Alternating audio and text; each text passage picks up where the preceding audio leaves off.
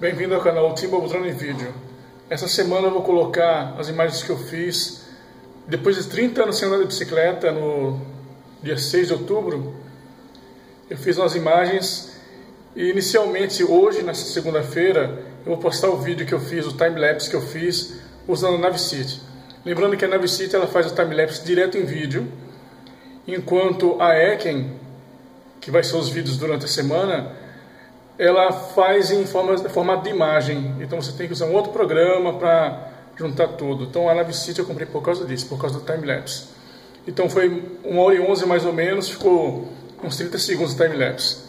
Mas eu tenho que ajustar ainda, porque não deu para fazer uma captação bacana. Então, assim que eu tiver tempo, vou fazer as gravações. Ele tem vários modos de time-lapse, eh, em questão de segundos, 0,5, 1 e por aí vai.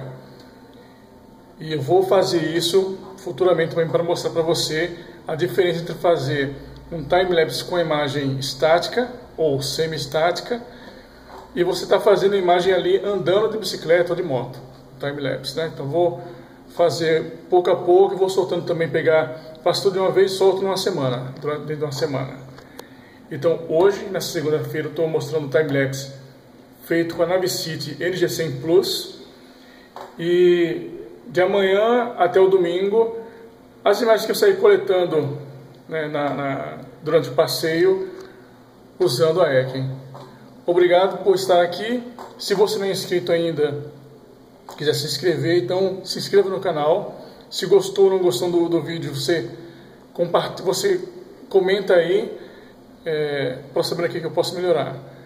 É, lembrando que eu tenho o drone Telo, já coloquei alguns vídeos aí com, com Telo e vou também os outros equipamentos que eu tenho. Aos poucos vou mostrando como funciona, as funções, para você poder conhecer também.